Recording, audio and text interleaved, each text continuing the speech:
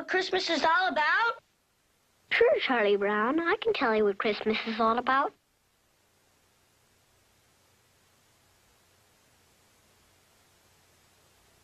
Lights, please.